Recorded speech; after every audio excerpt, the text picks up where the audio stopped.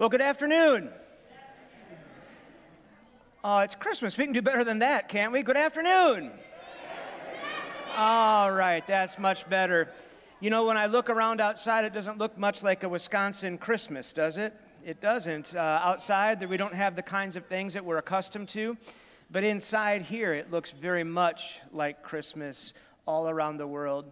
I was sharing with Dan Murphy, our uh, custodian here, and he takes care of the facilities. I was saying, you know, it's just not Christmas. And just as I said that, I looked out my office window on Silver Spring, and there was a young couple jogging. She was wearing shorts, and he was jogging barefoot down the road. I, even in July, I wouldn't run barefoot, but I think he just wanted to say, hey, remember that Christmas that Christmas that I went jogging barefoot along Silver Spring. But let me introduce myself. My name is Matt Hadley. I'm the senior pastor here at the United Methodist Church of Whitefish Bay, and I welcome you to this children's service. So thankful for the work that Pastor Andrew and Neil and others um, have, have done to help make this service a reality. We've been dealt some setbacks with some positive tests, so it, it's very fluid. Are you comfortable with being fluid? You have no other choice, so that's, that's that on your way in, you hopefully received a few things a communion kit. If you have not received a communion kit, you're going to need this for when we do communion. And hopefully, the young ones got the glow stick candles. And I, I know that some of you have the real candles. If you don't have those, I invite you to raise your hand, and our ushers will come and make sure that you have everything that you need. We have some up here that, that need some. Um, if you are at home with us, I invite you to find a cracker or a piece of bread, some juice or some wine, and to have a candle so that you can participate fully in what we have to offer here. I do want to give a warning if you have a real candle and you are one who is hand sanitizing over and over, at a clergy meeting this last week, I heard a story of the fact that if you just put on hand sanitizer just before you have the flame, you are flammable for a little period of time. So if you want to hand sanitize one last time and, and it'll be good for the service, uh, we don't want any uh, tragedies here. At 6 o'clock, we have our contemporary service, and it's online. And at 8 o'clock is our full formal chancel choir service. You can tune in on our live stream, or I know some of you will be coming back for that service. Uh, looking ahead, uh, there is no Saturday worship this week, and we're having a single service at 10 o'clock on Sunday the 26th. And then the very next weekend, we're also having a single service on Sunday at 10, although we are having Saturday at 5 and we're going to begin a brand new sermon series called This Year is Going to Be Different. And don't we hope that 2022 has some different things uh, about it that 2021 had? But we're going to look at new commitment, new vision, new attitudes, new understandings, and new practices. So, you ready to worship Emmanuel, God with us? All right. And so I invite Pastor Andrew to lead us in our call to worship. Would you join me in the call to worship? Soon God oh, excuse me. We count it in mere hours now. Soon the first pains of labor will be felt.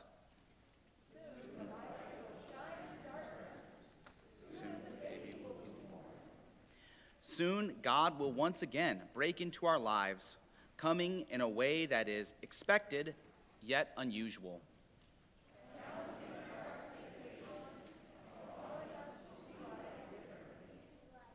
God of birth, God of light, in this time of worship, reawaken in us the awe of Christmas.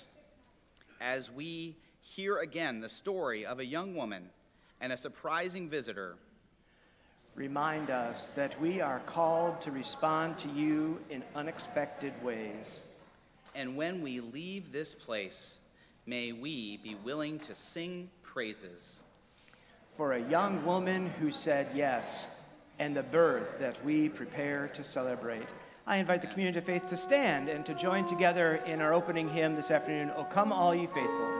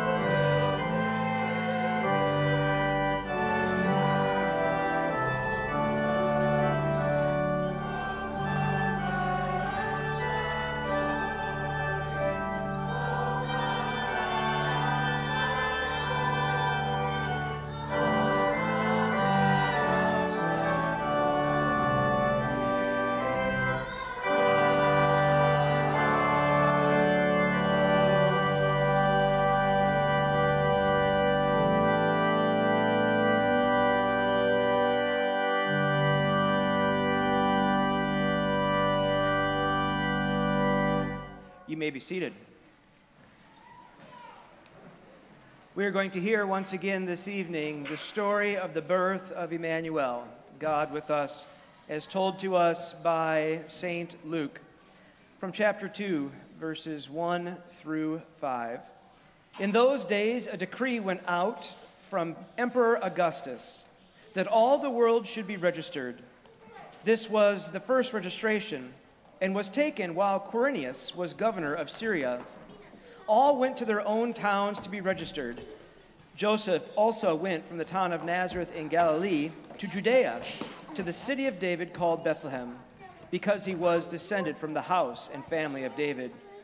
He went to be registered with Mary, to whom he was engaged and who was expecting a child.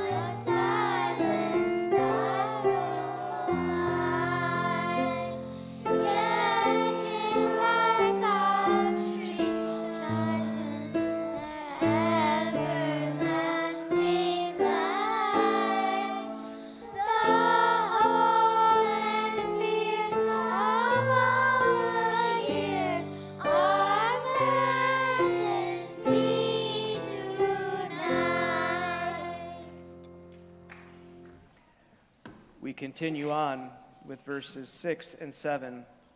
While they were there, the time came for her to deliver the child, and she gave birth to her firstborn son, and wrapped him in bands of cloth, and laid him in a manger, because there was no place for them in the inn.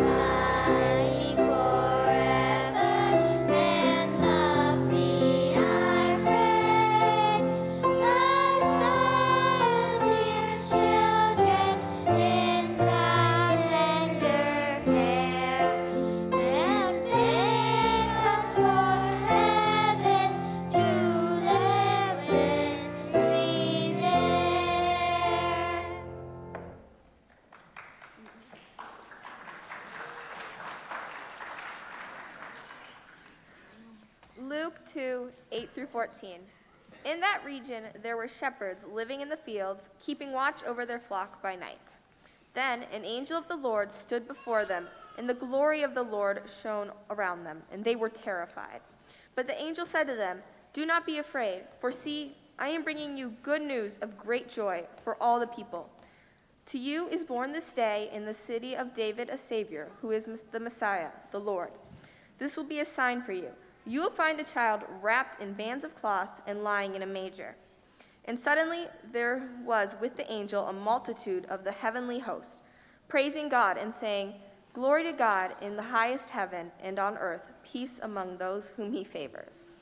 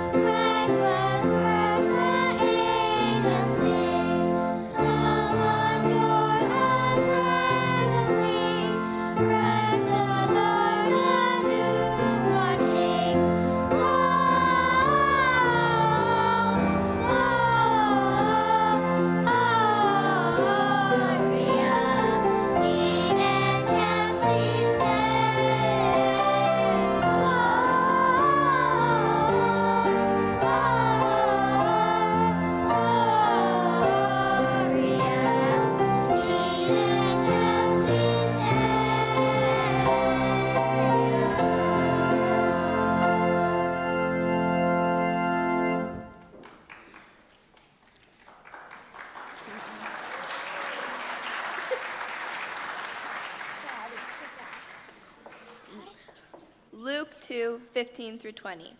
When the angels had left them and gone into heaven, the shepherds said to one another, Let us go now to Bethlehem and see this thing that has taken place, which the Lord has made known to us.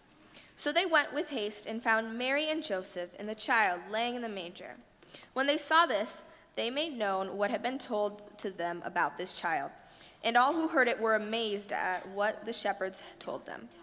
But Mary treasured all these words and pondered them in her heart. The shepherds returned, glorifying and praising God for all they had heard and seen as it had been told to them.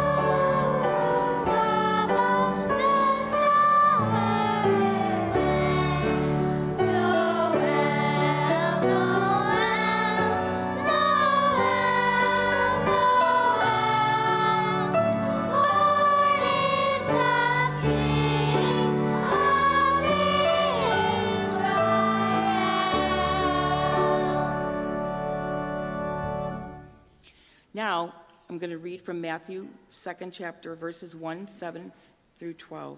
Now, after Jesus was born in Bethlehem of Judea, in the days of Herod the king, behold, wise men from the east came to Jerusalem.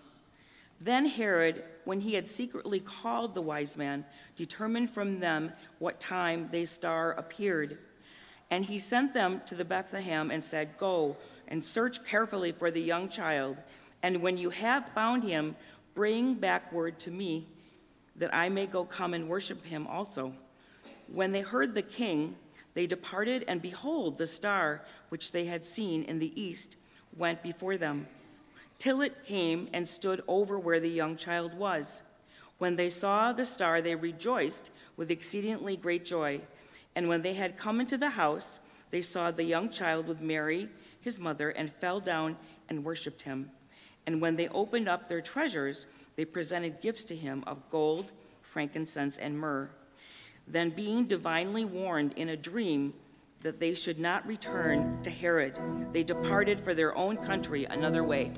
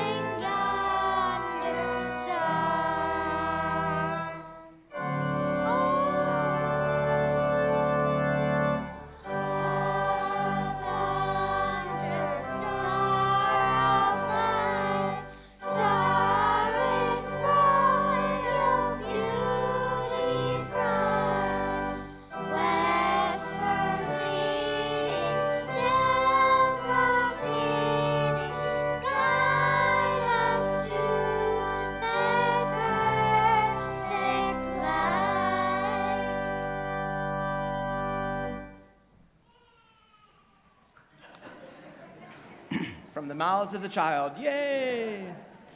And so we come for an opportunity to present our own gifts. I don't think we brought gold, frankincense, and myrrh, but uh, we are invited to give to God our tithes, our offerings, our Christmas gifts, that we might be faithful with our ministry inside these walls, which leads us to be faithful far beyond them.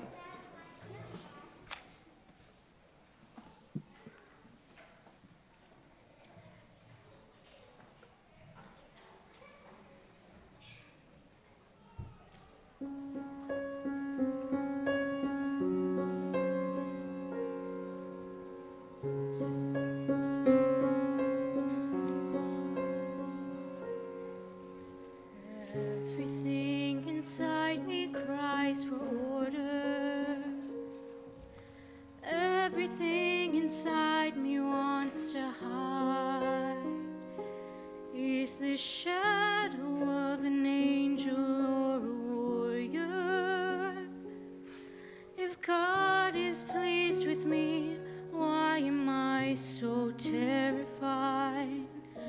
Someone tell me I am only dreaming.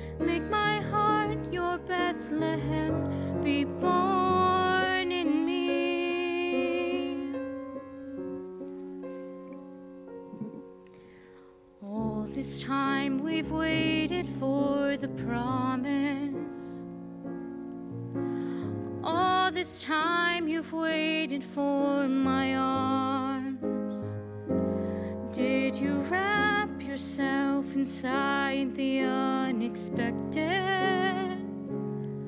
So we might know that love would go that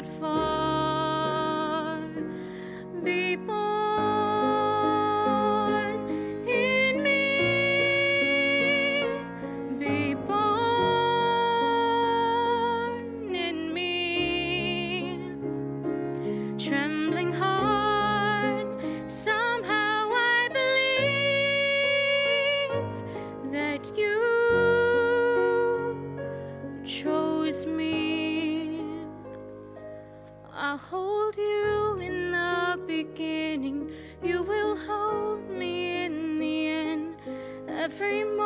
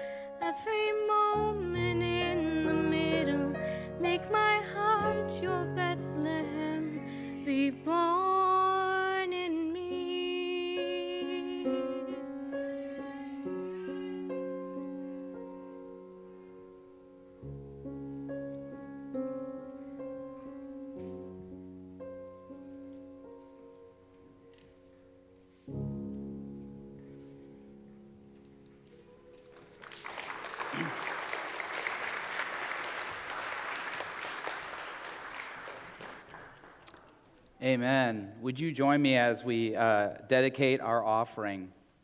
To the glory of God, for the sake of the world, we dedicate this offering and our lives to you, Lord. Well, good evening. Uh, it's my pleasure to be with you. I'm Andrew Jones. I'm the youth, children, and family pastor here. And this was great, all this crowded stage but it was a little bit of a mess. I imagine that first night was a little bit of a mess too. We had planned to have a real baby Jesus up until an hour ago.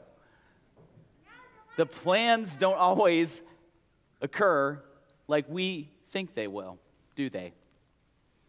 Well, normally when kids see me up here, I have a prop or two, and I brought this prop up actually several weeks early, and it's the tree. How many of you all probably have a tree at home, or you've obviously seen a tree, or you went to the tree lighting um, in Whitefish Bay over by the, the city market? I love Christmas trees. They're wonderful symbols of the season, they smell good, they're full reminders about Christmas. There's one part of the tree that's actually more important than the others. What do you suppose that is? Maybe it's the lights. I mean, the lights practically announce Christmas. They gleam, they shine, they celebrate the season. You know, whether the lights are all solid or, or they're a mixture of colors, the lights bring attention to the tree. They pierce the darkness. Jesus would be the light of the world in the same way. But guess what? The lights are not the most important part of the tree. What about the ornaments? Now, we don't have ornaments on this tree, but man, I love ornaments. there's all kinds of different ornaments, like these colorful bulbs and homemade ornaments that kind of remind us of when somebody was in a certain grade and, and have glue and paste all over them, and sometimes they stick to one another. You know what I'm talking about, right? They're an expression of love from a child. Some decorations show our traditions. We have a pickle ornament and some kind of a tradition somewhere that if you put, find the pickle ornament, you open the first gift. Nobody knows where that comes from. But that's, that's a real thing, right? It's kind of weird, but it's fun. Little game for us. There are also ornaments that can tell the story of Jesus. But believe it or not, the ornaments are not the most important part of the tree. Then it's got to be the topper, right? Now, on a lot of trees, you maybe have a star or an angel. Now, those were, were things that guided people to Jesus, right? The star would guide the wise men, the angel, the shepherds. They would tell and announce the birth of Jesus. But as much as we think that would be the most important, it's actually not. But when I said wise men, I thought about gifts. The gifts must be the most important part, right? I mean, they're under the tree, they're kind of part of the tree, right? The gifts must be the most important part. I mean, they remind us of the gift of Jesus, too, and, and the wise men's gift. But as much as I would like to say it's the gifts, it's the presents, it's not. The most important part of the tree isn't the lights, the ornaments, the toppers, the gifts. Although they're wonderful symbols of the season, none of them would be possible without the base, the thing that holds the tree up. I mean, without the base that holds the tree up, there would be no tree. It would just fall over. Your cats would love it, but that's not what Christmas is about. Sometimes we fail to focus on the most important parts of Christmas. Like I said earlier, we planned on having a real baby Jesus with us. A lot of us probably didn't even know the, the little toy doll that we have play, playing baby Jesus tonight. He kind of got lost between the angels and the shepherds and, and everything else. And that's how a lot of our Christmases go. The fun things, the cookies, the events, the family members.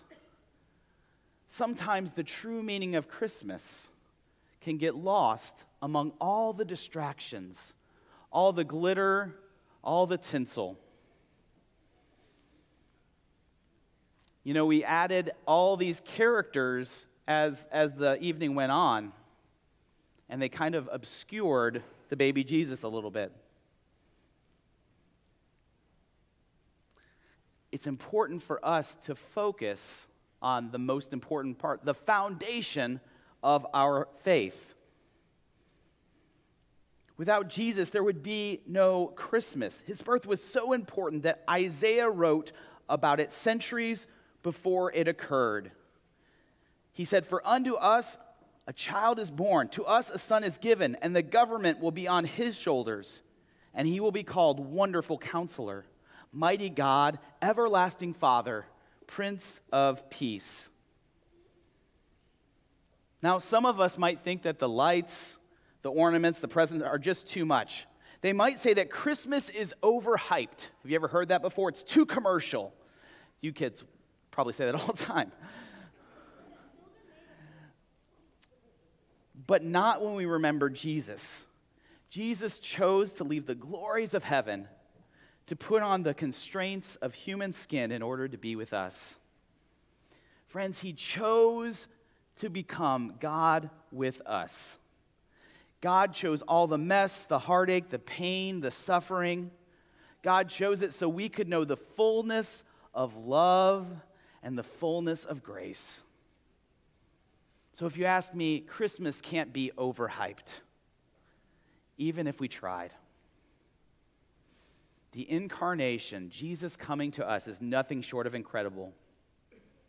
So, this Christmas, let's look beyond the lights, the ornaments, the presents, and the tree, and let them point to the foundation, not the tree stand, as I mentioned earlier, but Jesus.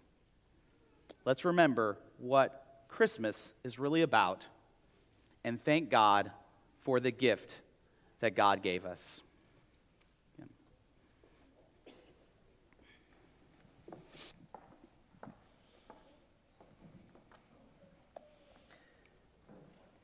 And so this Christ child walked on earth for more than 30 years, the last three years of which was an active ministry. And he had a, an inner circle of people with him the people he laughed with, the people that he challenged, the people that were side by side with him as he fed the hungry and uh, did miraculous things for those who were oppressed. But he knew it was coming. And the night before he was betrayed, the very night, that night that he was betrayed, before the crucifixion, for one last time he gathered with his disciples in an upper room. And he took a, a piece of bread, a, a common loaf of bread, common looking for his culture. This is pretty common for ours. And he took that loaf and he broke it. And he said, This is my body, which is given for you. Take and eat. And that loaf worked its way around, and one by one, they all partook a piece of that loaf. When the supper was over, he took one of the containers of wine. It probably wasn't fancy like this, more earthenware. But he said a prayer of thanksgiving. He said, This is the blood of the new covenant poured out for you and for many for the forgiveness of sins, which means for life everlasting. And so, in a very COVID unfriendly way, they passed that around and they all put their mouth to it and, and partook. And so, this single act has sustained the life of Christian worship from that moment to this very day, this holy Christmas time. And so, in just a moment, I'm going to say a prayer of thanksgiving. I'm going to ask the Holy Spirit to bless these elements. Then we're going to join together in the Lord's Prayer. And then we are going to have the opportunity to peel back the top uh, cellophane to re- re- reveal, reveal the bread, and then we'll have the cup of blessing. Every time we have communion in a United Methodist church, it's important for us to say, everyone is welcome to partake. You don't need to be a member of this church. You don't need to be a member of any church anywhere. You are a, precious child of God for whom came Emmanuel, God with us. So, would you pause with me for a word of prayer? Holy are you, and blessed is your Son, Jesus Christ. As Mary and Joseph went from Galilee and Bethlehem and found there no room, so Jesus went from Galilee to Jerusalem and was despised and rejected. As in the poverty of a stable Jesus was born, so by the baptism of his suffering, death, and resurrection, you gave birth to your church, delivered us from slavery to sin and death, and made with us a new covenant by water and the Spirit. Almighty God, pour out your Holy Spirit on us gathered here and on these gifts of bread and wine. Make them be for us the body and blood of Christ, that we may be for the world the body of Christ redeemed by his blood. By your Spirit, make us one with Christ one with each other, and one in ministry to all the world until Christ comes in final victory and we feast at his heavenly banquet. Through your Son, Jesus Christ, with the Holy Spirit in your holy church, all honor and glory is yours, Almighty God, now and forever. Amen. And so now, as uh, we join our voices together to offer the prayer that the Christ has taught us, saying, Our Father, who art in heaven, hallowed be thy name. Thy kingdom come, thy will be done, on earth as it is in heaven. Give us this day our daily bread, and forgive us our trespasses, as we forgive those who trespass against us. And lead us not into temptation, but deliver us from evil. For thine is the kingdom, and the power, and the glory forever. Amen. And so, brothers and sisters, I invite you to join with brothers and sisters all around the world in receiving the bread of life. Take and eat.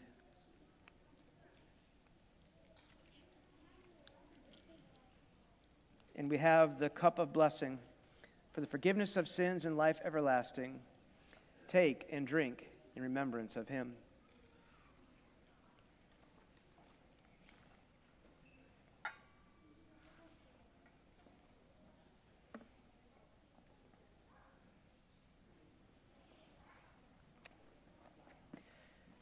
And so, as the lights in the house are coming down,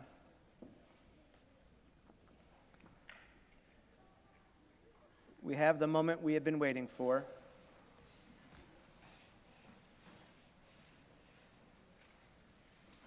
The lighting of the Christ candle.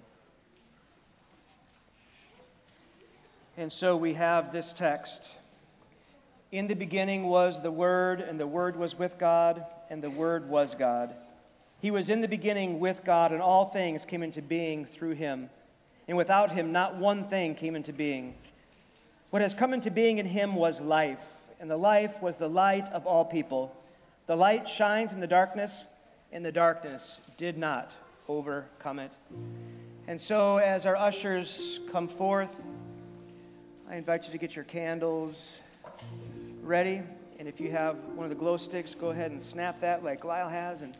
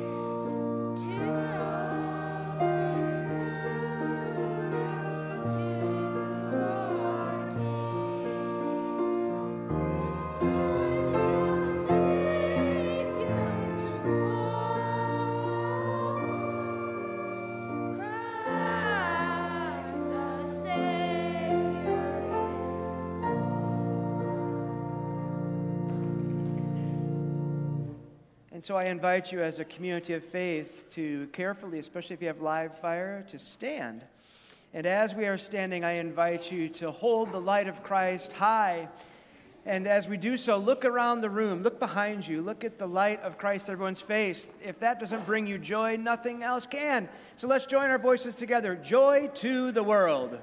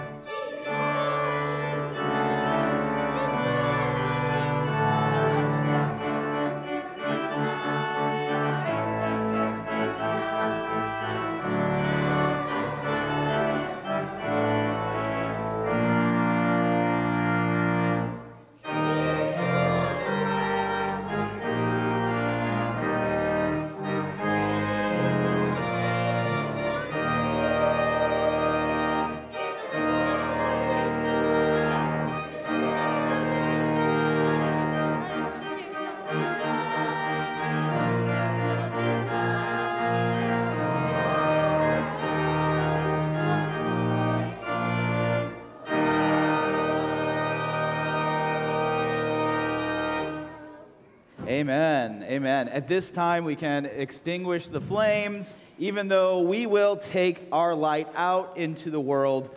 And I want you to be dismissed with this benediction In darkness we arrive, in light we now leave. Though once we stumbled, we now walk with confidence. Rise up and go, for the grace of God has appeared, bringing salvation to all. May the light of Christ lead us forevermore. Amen. Thank you.